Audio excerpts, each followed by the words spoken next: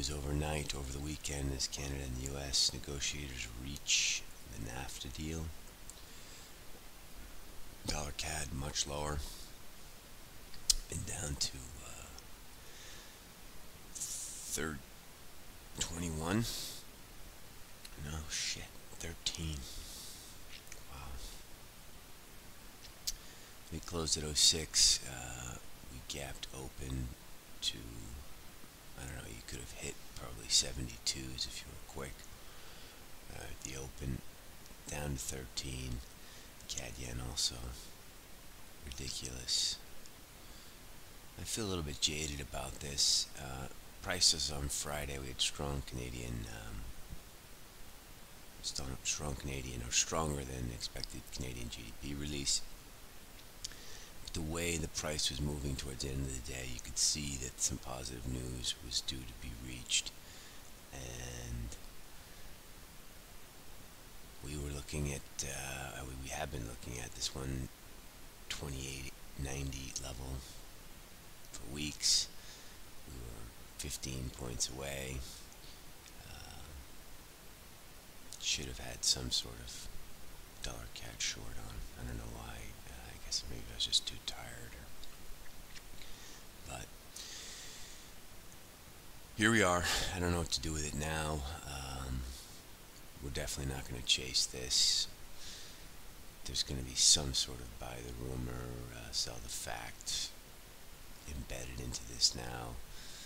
Um, although on the positive side, crude is um, up through the year's highs.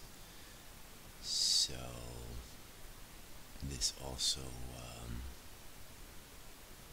you know, it's going to be helpful for Canada, where with crude so strong. Anyway, moving on. Euro is lower on basic dollar buying. Stocks are higher today.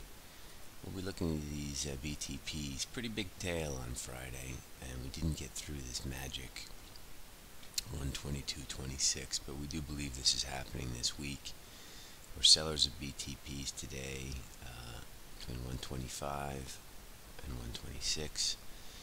We don't think this Italian story is over. Um, as we mentioned on Twitter, we, you know, this is just we'll take the path of a typical Italian story, long, windy, complicated, and um, kind of a fuck up. So We'll be sellers of BTPs on rallies today to uh, add to core shorts. Cable, we got this uh, Tory meeting. It's held up pretty well considering, I guess. I mean, yesterday, as we expect, uh, Friday, as we expected, it went lower. Kind of holding up here. Uh, her big speech is Wednesday, if I read correctly. But while these nitwits are like arguing with each other and and uh, you know running around in circles, it can't be too positive uh, for Sterling.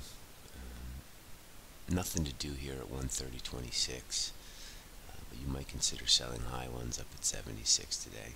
But you got to keep your uh, got to keep your eye on the headlines. Aussie and Kiwi these probably should go higher now. Um, stocks are higher, CAD is higher. I'm not sure why we're just sitting here. I want to digest this chart a little bit before I dive in or whatever. It, it, it's, I'm a little bit surprised that both of these pairs um, have done nothing in the Asian session. So, but we will be looking to probably buy these at the open. I need to I need to give it a little more thought.